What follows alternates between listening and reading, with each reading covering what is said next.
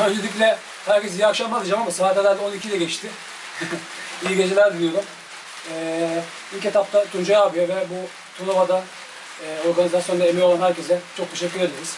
E, bu şekilde pandemi döneminde bu şekilde e, spor yapmamızı sağlıkları için. E, ama bu akşam e, yağmurluydu. Maça gelecek olursak e, iyi başladık. Yani bu kadar bilmiyorum kaçıran takım var mı bilmiyorum ama özeti daha iyi izleyeceğiz. Sağ içinde neler o şekilde gördük.